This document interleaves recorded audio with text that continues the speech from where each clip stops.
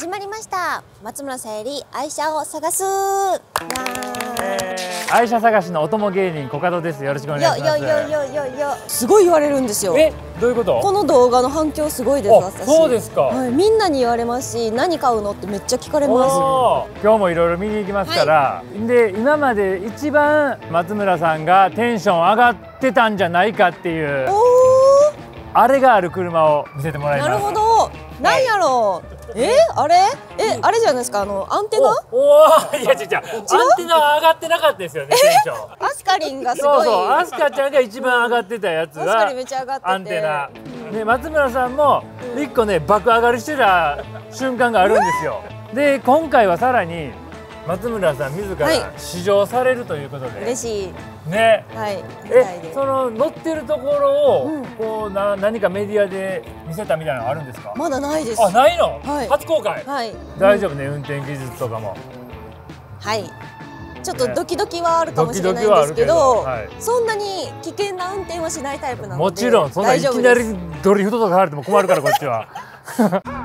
理想のマイカーに思いを馳せいろいろな車を実際に見て乗って思考の一台を決めていく松村さゆり愛車を探す。第4話テスラの女。さあこちらでございます、おおさあ見てください。知ってますか？知ってます。テスなラ。はいそうです。すみません。よろしくお。願いします。よろしくお願いししまあす。りがとうございます。よろしくお願いします。西田と申します。どうぞよ西田さん。ろしくお願いします。よろしくお願いします。どうですか？もうだって赤がまず好きやもんね。赤が好き。ね。チャイリンゴ。はいはい。み見ましょう。見ましょう。ね。車見ましょう。はいはい。オッケーオッケー。車見ましょう。オッケーオッケ可愛いショット、ーうんうん。可愛かったよ。まず前見せてもらう？はい。スタイリッシュさがすごいね。すごい。モデル Y ですねこれは。はい。テスラってすごい有名なんですけどそもそも何が違うんですか？他の車と。EV はい。EV 電気ですね。全車 EV なんですか？ははいい。へえ完全に電気だけですよね、そうですね。ここは何ですか？いやまずそこ気になった。出っ張りえこっちにもカメラある？ほんまや。これカメララついてる。なんかあの隠しカメラみたいな、うん隠しカメラみたいなのついてる。これカメラですか？そうです。おっしゃる通りで。あ。カメラ。このカメラがウインカーを出すと起動してですね、画面上にこう巻き込みのところを見てくれたりですとかしてくれるわけですね。すごっすごい。確かに後ろから自転車が来てないかとか通行人さんとかそうです。ここにもカメラがあります。え嘘。お前めっちゃここにもカメラ。これよう発見したな。結構隠してるねこれテスラさんも。いろんなとこにカメラあって全体を見てるんだ、えー、エンジンの口のやつがないんです。マフラーないですね。マフラーないんですおっしゃる通りです。もうか排気ガスがそもそも。いらいらないもんね。すごいでもこれあれどうやって、はい。あ今鍵閉めてるからなのか。どうやってね、どうやって乗るんやろ。乗ってもらって大丈で夫でもこれが取れへん。困るな。そうこうやって爪で？それいやいや爪でやるんですか？うん。え？うん。え？あああれ？いった！あれ？こうですか？あああーよかった。お邪魔します。わーい。おおわあい。うわテレビテレビみたいな大きさの。大きいなモニターな。私上京した時のテレビこれぐらいのサイズ それ以外なんもないで。確かに本当に。えここも何にもない。この。なスタートボタンもない。あ、うん。ここら辺に。ほんまや。あの何にもないわ。何にもない。エンジンかけるとかはどうやるんですか？もうあのお持ちのスマートフォンが鍵になりますので、スマートフォン持って乗り込んでいただくと、あとはドライブに入れれば走り出しますね。ち。ょっともうスマホですって鍵。盗まれたらどうするんですか？スマホ盗まれたらカードキーをご用意してます。カードキーも一カー応ドキー。一応あるけどホテルみたいな。シフトレバーはこちらですね。うわーそれなんだ。あある。ウインカーじゃないんだそれ。ウィンカーじゃない。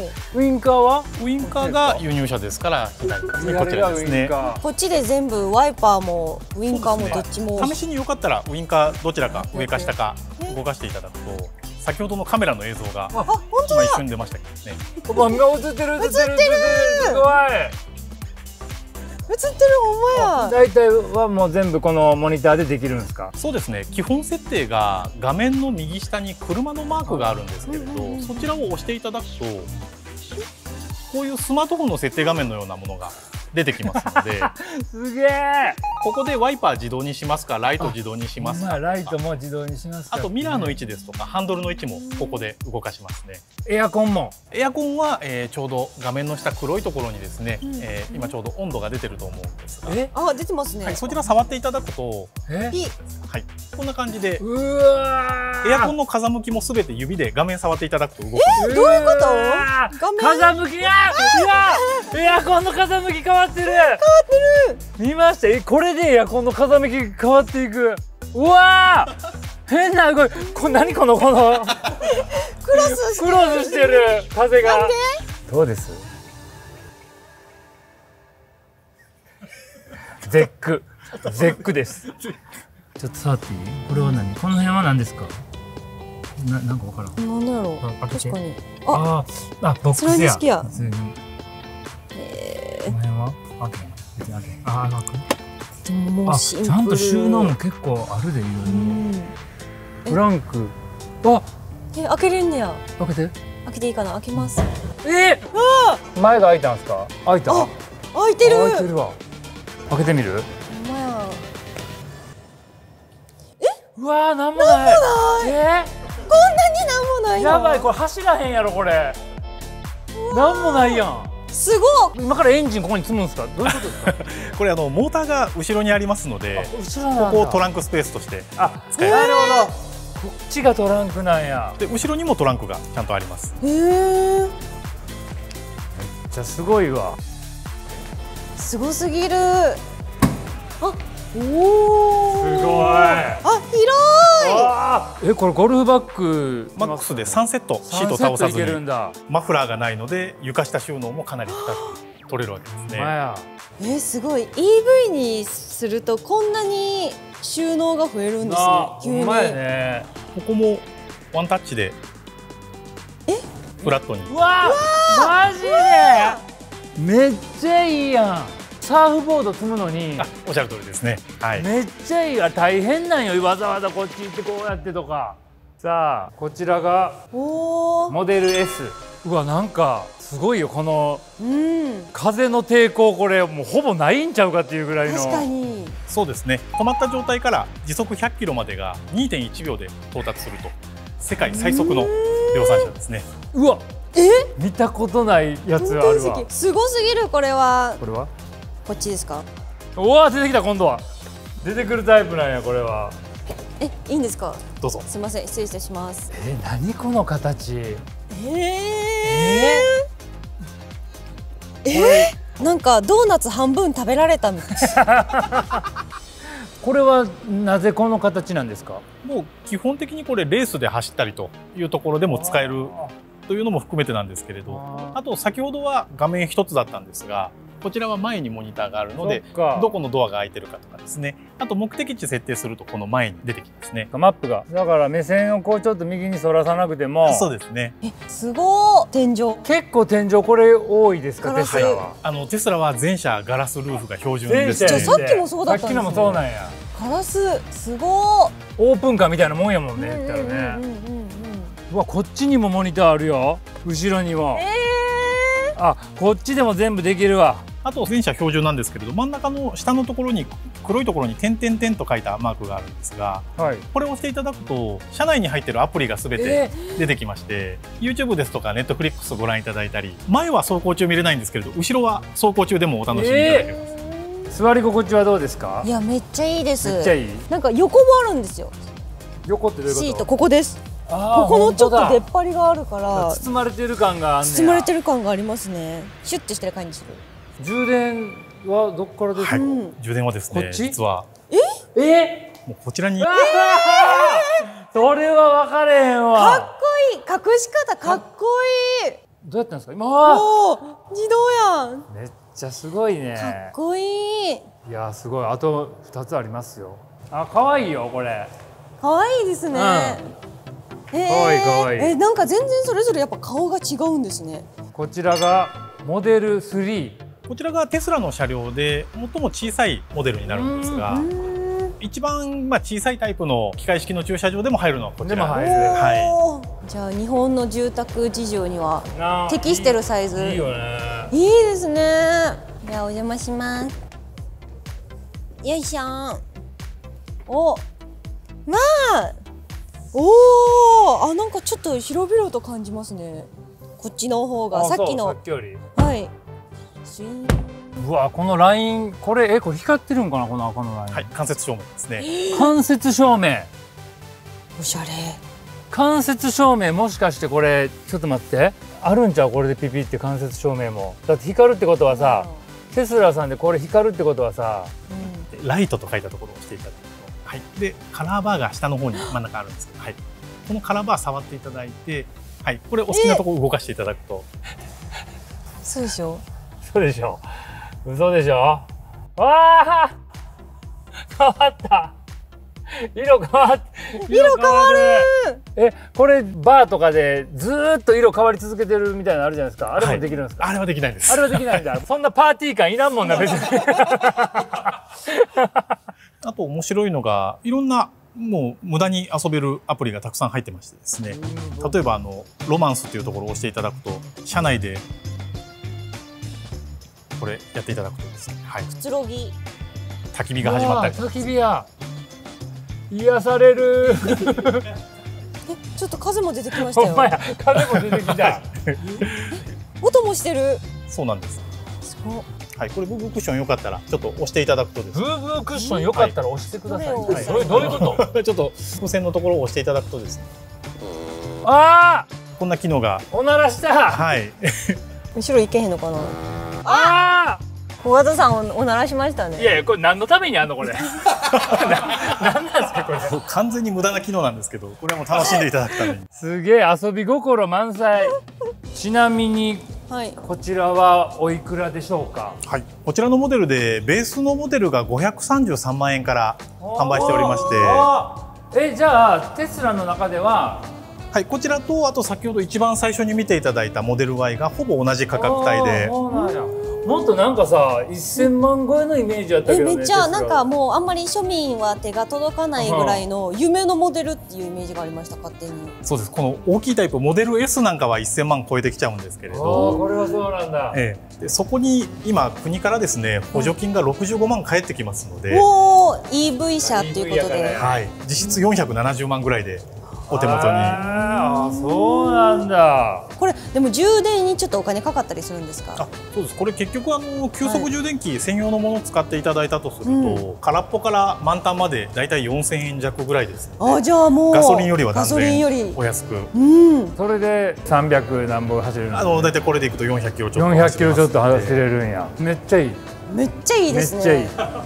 ご自宅用の場合はあのご家庭用のコンセントから充電できちゃうんですねあれでえ専用じゃなくて？そうなんです。あのあちらにあるそうだ普通のコンセントからこの展示の車はすべて充電してるんです。ねえー、あれから、はい。あの家のこれ？いやいやこんなん家のやつでやったらバーンそう。な電圧が爆発して爆発するよね。家が爆発したりしないんですか？そうです。これはあのご自宅用の電源からでも専用ケーブルで充電できるんですね、そうなんだ、ただまあやっぱりゆっくりではあるんですけれど、うんまあ乗らない間つないどけば確かに夜ずっとつないどいてそうみたいな、ですね。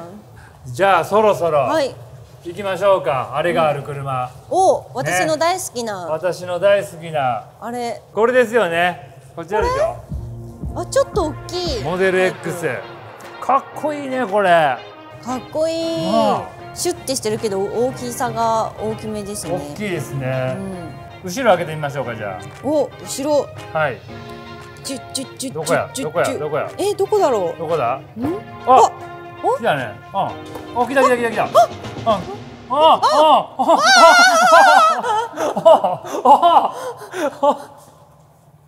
これはこれはガロウィングそうですよく覚えてましたね名前でもしかもなんか今まで見てたガロウィングっていうかうんこうやって開くやつですよね覚えてるねこう開いてる違うねはい。こちらはですねガルウィングではなくてファルコンウィングという。ファルコンはい、でガルウィングと違うのがあのこの辺り関節がありますのであ例えばガルウィングだと横が広くないと乗れないんですけれどあこれは横幅3 0センチぐらい。人間が通れるぐらいあれば一回上に上がってから開いたりとかいろんな開き方ができるので、えー、本当ですか？狭いところでも私まだちょっと信用できてないです。いやなんで信用できてないよ。立っとく3 0センチのとこに当たれへんかどうか、じゃあ一回じ閉めましょう。ゃあはい。一応私ほらうん。元人気アイドルでもう国民の宝物って呼ばれてますけど。あんま自分で言わへんし そこまでは言われてないし、うん、ちょっと待ってやちょっと待って俺あの30センチはい。メジャー持ってるからすごい。はい。すごい。なんでなんでメジャー持ってるん？あの洋服作ったりするから。生地買いに行く時とかこれで。すごい。おもろ。この辺からですか？30セそうンチですね。ちょっと余裕を見といていただけると。このこのこっからやな多分。そうですね。はい。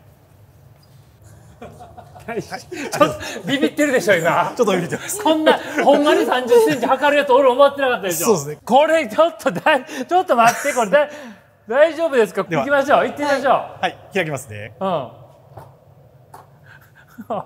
来た来た来た。あ、あ、あちょっと待って。ごめんなさい。当たりそうでしたね。国民の宝！危なかったです。何時じゃないでしちょっと。イーロンさんに苦情をイーロンさんに言わないでください。日本の国民の宝が傷つけられそうでしたよあとはその人ではなくて例えばその車とか壁だと結構しっかり反応はするんですけれどこれ反応なんですか？あそうですあのドアの中にセンサーが入ってましてだからビビれへんかったらうん30でいけたんや。そうか全員がビビって止めたけど。何人乗りなんですか？これが5人乗り6人乗り7人乗りと選べるようにできてまして選べる？え両方分けたとこ見たいんだけど。うわす生。ごいファルコンウィング。ファルコンウィングめっちゃすごいね。う。さぎちゃんを見た。なあ。お邪魔します。うわ勝手に。勝手に開く。すごい。